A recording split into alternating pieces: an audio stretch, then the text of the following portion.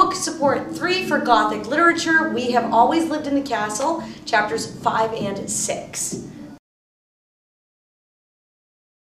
This is the lovely town that you guys created for me. Thank you. I'm really very happy with it. Some of the presentations were better than others.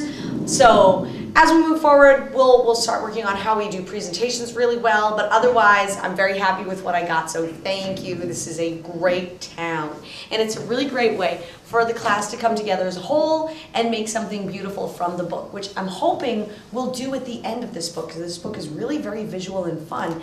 And in chapters five and six, we're going to start seeing that. So let's go right into chapter five. It starts right here on page 85. Um, I'm not going to read parts to you. I just want to go over the book with you. Um, so Merricat ran away last night because cousin Charles showed up and she had what, what we could loosely translate into an anxiety attack. Uh, she ran out, and just like Courtney got us to, she went and slept in some kind of like little foresty knoll where she literally made a bed and she just went went to sleep with Jonas there. So we have the reinforcement of the fact that Merricat does embody nature so that she can go into nature and find comfort and find some kind of solace or at least the ability to hide in it. So we, we have that. She has security in nature. And, and of course, just like we were talking about, the, the gentleman who sit right here, uh, Dan and Patrick and, and Nick, you know, we were all talking about like, why is she creating this bizarre false sense of security through these items? Well, again, she has taken on the role of the dad and she's going into nature. She's taking little domestic items of power like the book and the doll and silver coins and she's putting them into nature to try and create some kind of at least false illusion of of uh, safety. Think about that actual gate. It's a wired gate with a little tiny bicycle lock holding it shut. Anybody can break into this house. It's only secure because people are playing by the rules. People decide to stop playing by the rules. This house is not actually safe. Merricat knows that. She just, in her strange, warped Merricat brain, can't really fathom another way to make it more safe. So she's got that issue going on. Okay, let us look right at the book.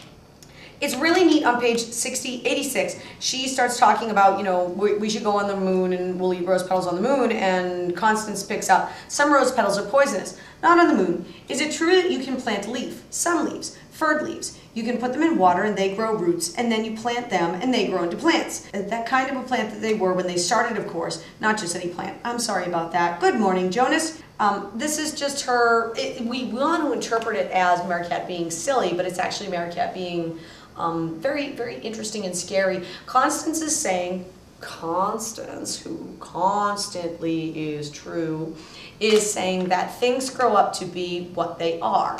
And Merricat is saying, well, I'm sorry for that.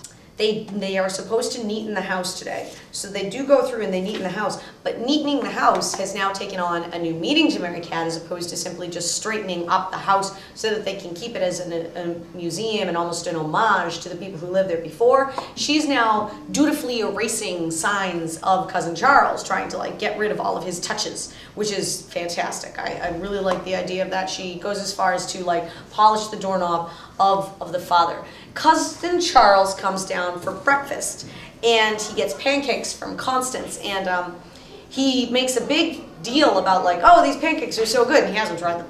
Um, and it's, it's neat because it's Constance and Julian and Charles and Merricat and cousin Charles is, you know, talking and, and, Uncle Julian starts to talk about, you know, like what had happened and your father and what, what's going on. And Cousin Charles doesn't want to talk about it. He doesn't want to um, interact. Uh, he doesn't want to remember the past, basically, because as we read, his father was actually quite mean to Merricat. His father said, like, you don't you know, we're not going to mention the family in the household, and I'm not going to take in Merricat during the trial because, of course, this was six years ago. She was 10. Um, and Merricat runs away from Charles after he finally eats one of the pancakes, and Constance has to basically guilt him into it, saying, you know, you had dinner here last night and you woke up alive today. If I was going to kill you, I'd use my hands. I'm going to challenge you. When you guys were saying that he's a ray of hope, I'm going to take you to this lovely little scene. Um, Cousin Charles, very rudely, cuts off Uncle Julian, saying that I'm not going to discuss it anymore. Now, Uncle Julian is discussing a topic that makes everybody uncomfortable, but for six years straight, he lived in a house with two girls who he had no problem discussing what had happened with because he had been permanently disabled because of it. And, and I don't know if you've noticed this at this point, he only talks to Constance. He never actually addresses Merricat, and Merricat never talks to him either. Um, so, you know, he's not used to someone just saying, like, I'm not talking about it. And, and Uncle Julian's actually quite hurt by this. Uh, and by the time dinner comes along, so we have breakfast all the way to dinner, he's actually very rudely saying things like, uh, where is it, where is it, where is it? You know, you always eat with him here. Like, I can just see this kind of like, you know, 32-year-old schlub, like, hunking over his, his meal, putting his shepherd's pie that, that lovely Constance made into his mouth, scarfing it down, and with his fork, pointing over at Uncle Julian, going, you always let him eat here? It's like, uh, it's his house. Yeah, we always let him eat here. Maybe we shouldn't let you eat here. And, um, uh, he, he very, very threateningly says to Merricat, here it is on page um, 101, he's talking to Jonas, the cat, and he says, Cousin Mary doesn't like me, Charles said again to Jonas. I wonder if Cousin Mary knows how I get even with people who don't like me. And then we know that there's a, a click that Constance comes in. Can I help you with that chair, Constance? Have a nice nap, Uncle. All of a sudden he's like laying it on extra thick. We, we know people like this guy. We do. You, you know you know people who have been rude to one person and then they're extra nice to that next person just to be like, I'm a sweetheart, not a jerk. This guy's a jerk. And, and we should know by the end of chapter 5 He's uh, what is all this tape? He's the thunderclap of doom. He is not the ray of hope that we were hoping for. And by by the end of this, you should also start to pick up on why did this dude all of a sudden decide to come visit? It's been six years. And he's like, he's 32 years old. And he's like, oh, I, I thought it was high time I came and visited. And I, I didn't want to do it before my father died because I didn't want to, you know, insult him. You're 32, dude. Give me a break. Uh, another thing that he does that threatens Merricat is he agrees to start going into the town and doing the shopping for her, which she finds extraordinarily threatening. Um, that's that's her job, that's her identity, and he's now not only upsetting you know the status quo of the house, he's now upsetting the status quo of the safety because if he has to go in and out of that gate, that means he gets to hold a key. So the question I'd like you to consider, and I will expect to see it on Monday, and since I know you all know how to find these because we watched one, how does Cousin Charles threaten Merricat?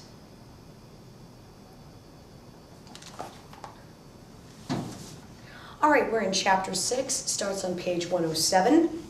Um, as it says, as we were just talking about, the house was not secure because Charles had gone out of it and into the village for one thing, um, and Constance gave him the key. So now we have somebody who Merricat considers unreliable, holding the key, and he had gone out. And, and just, you guys are smart. If a door opens so somebody can come out, that means someone can come in. That's, that's how this works.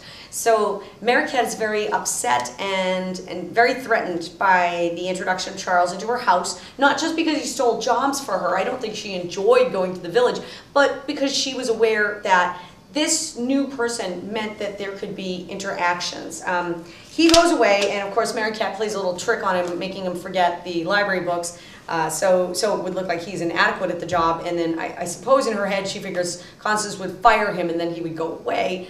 Um, no, and Constance starts talking about gingerbread, and this is where I, I just start to fall in love with the book because if there's one thing I love to make, it's gingerbread. Um, it's so yummy, uh, and and this book makes me want to bake all the time. Um, uh, Constance then sort of kidnaps the story away from Merricat, not being the narrator, but Merricat is then forced to hang out with Constance in the kitchen, and we, we the reader, are forced to then also hang out in the kitchen with Constance, who is constantly baking, hence her name is still Constance. Uh, and she says, you know, she wants to make gingerbread, and, and Merricat's like, I make gingerbread. And she's like, well, it'll be cool by the time you get home. And Merricat's like, mm, you know, who cares? Charles stinks, I'll eat it. And uh, we now start to see a little balance in Constance's power and affection. She wants to make the gingerbread for Charles because he said he liked it, and Merricat is not understanding that the world stopped revolving around her and Uncle Julian and the house and Jonas and Constance. We're, we're seeing a balance of power shift in this relationship between Merricat and Constance. And I'd like you guys to start thinking about who has power. So in your notes, and I'd like you to make a note, prior to chapter 6, who do you think has power? And then after chapter 6, is the power starting to shift to a different person and how so? Charles comes home and he's holding a watch fob, a, a, chain in his in his hand, and he's flipping out. And he's like, "This is a gold watch fob." And Constance is like, "Yeah, good." And he's like, "It's smashed. I found it nailed to a tree." And Constance is like, uh, "It's good job. You're gonna find all sorts of stuff nailed to the tree out there. Merricat does this all the time." And he's like, "But that's expensive." And she's like, "Okay, keep going." And he's like, "We could have sold it." She's like, "Why would we do that? We don't need money." Go let her nail things to trees. Who cares? So um, Constance is not really understanding Charles is upset and I want to see if you guys can make a prediction as to whether she's going to start to see things Charles's way uh, and and also why is Charles suddenly really interested in the items around the house so question for right now is why is Charles here Merricat says that he makes Uncle Julian sicker um, and Constance says like, oh no, no, no, he's just trying to, you know, make Uncle Julian think about happy things and, and think happy thoughts. I want I want you guys to challenge Constance and find me examples of him not being nice to Uncle Julian and support Merricat. So find me two examples of where Cousin Charles is actually making Uncle Julian sicker.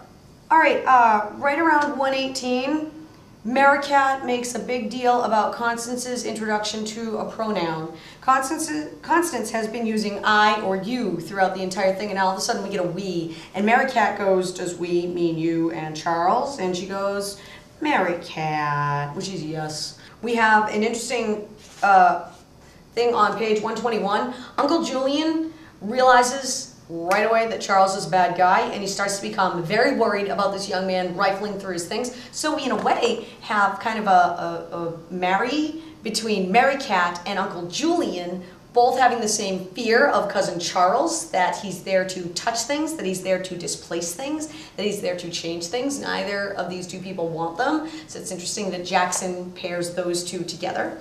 They sit down and they have a lovely dinner and Constance then goes to to play the harp. Uh, that's the instrument that she plays. She's very good at it. It's very beautiful to listen to. And she plays a couple of songs. And then Uncle Julian, who rightfully is the man of the house, says, "Oh, that was very lovely. You know, your mother had a delicate touch. I'd really love you to play this one song." And cousin Charles shushes him like a dog at his table and goes, "No, you you go off to bed now, and you two, Cat, we have things to discuss." Ah, you back that up, buddy. Where does Charles's authority come from? Is he taking it from Constance or is she giving it to him? Um, is it something that he, he is claiming as his own or is it an authority that she is endowing into him? Because I want you to really start thinking about the power struggle between Constance and Merricat. Um, we can say that they hold each other hostage, but we have to figure out like in what scene, who is holding whom hostage. All right? Okay, so I will see you guys on Monday with these written out on a piece of paper and not a post-it note. Thank you. Uh, and I hope you guys have a good weekend. Bye.